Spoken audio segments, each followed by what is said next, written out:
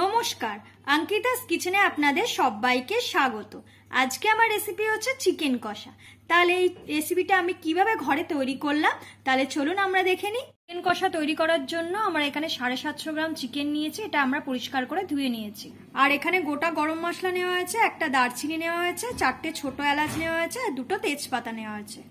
আর এখানে তিনটে মিডিয়াম সাইজের পেঁয়াজ আমরা বেটে নিয়েছি। আর লাগছে এখানে আদা বাটা, এখানে দু চামচ মতো আদা বাটা নেওয়া হয়েছে। আর লাগছে রসুন বাটা, এখানেও চামচ মতো রসুন বাটা নেওয়া হয়েছে।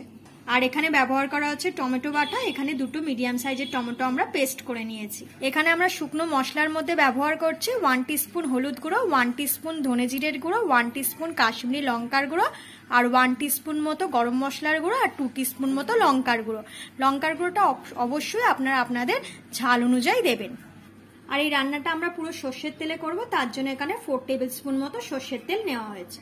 চিকেন কষা তৈরি করার জন্য আমরা একটা কড়াই বসিয়ে নিয়েছি। এখানে তেলটা আমরা ঢেলে নিয়েছি, সর্ষের তেলটা। তেলটা আমাদের গরম হয়ে গেছে, এরপর যে গোটা গরম মশলাগুলো আমরা নিয়েছিলাম সেটা দিয়ে দেওয়া হলো।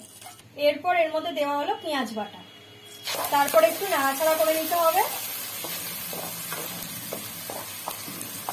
এরপর এর মধ্যে দেওয়া হলো আদা বাটা আর দেওয়া হলো রসুন বাটা। তারপরে সবগুলো ভালো করে একটু মিশিয়ে নিতে হবে। রসুনের কাঁচা গন্ধটা যতক্ষণে যাচ্ছে, ততক্ষণ এটা রান্না করে নিতে হবে।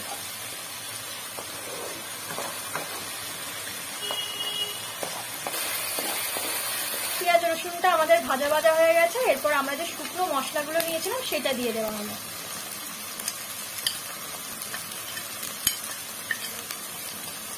সব মশলাগুলো আমরা দিয়ে নিয়েছি। আমাদের গরম মশলাটা আমরা লাস্টে দেবো। এরপর একটু ভালো করে নাড়াচাড়া করে নিতে হবে। মশলাটাকে কিছুক্ষণ একটু কষিয়ে নিতে হবে।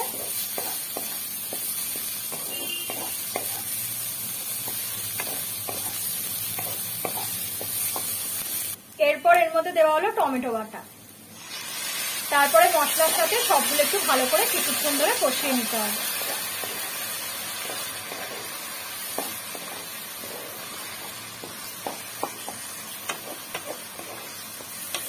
এরপর এর মধ্যে দেওয়া হলো স্বাদ মতো নুন। এরপর এতে দেওয়া হলো হাফ চামচ মতো চিনি। তারপরে সবগুলো একটু ভালো করে মিশিয়ে নিতে হবে।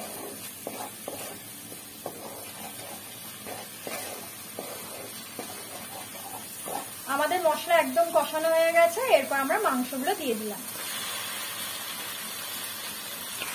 এরপর সবগুলো একটু ভালো করে কষিয়ে নিতে হবে মাংসের সাথে।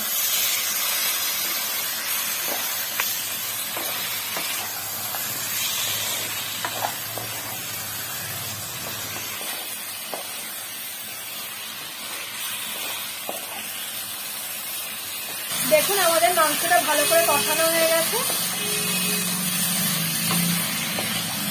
এরপর আমরা গ্যাসটাকে একদম লো আঁচে করে পাঁচ মিনিটের জন্য ঢেকে রাখলাম। আমাদের পাঁচ মিনিট হয়ে গেছে বা ঢাকনাটা খুলে দেওয়া হলো। এরপর একটু নাড়াচাড়া করে নিতে হবে।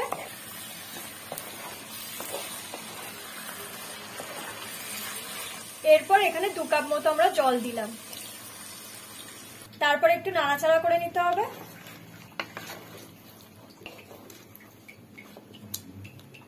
এরপর মাংসটা সেদ্ধ হওয়ার জন্য আমরা গ্যাসটাকে লো আছে করে দশ মিনিটের জন্য ঢেকে রাখলাম। আমাদের দশ মিনিট হয়ে গেছে, এবার ঢাকনাটা খুলে দেওয়া হলো। দেখুন, আমাদের মাংসটা একদম সেদ্ধ হয়ে গেছে, এবার আমরা ওয়ান টিস্পুন মতো গরম মশলাগুলো দিয়ে দিলাম। তারপরে একটু ভালো করে নাড়াচাড়া করে নিতে হবে।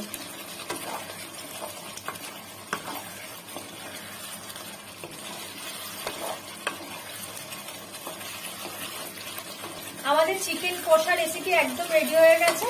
চলুন আমরা গরম গরম এবার সার্ভ করি। দেখুন, আমাদের চিকেন কষা রেসিপি একদম রেডি আমরা গরম গরম সার্ভ করেছি। যদি আমার রেসিপিটা ভালো লাগে, তাহলে অবশ্যই লাইক শেয়ার কমেন্ট করবেন।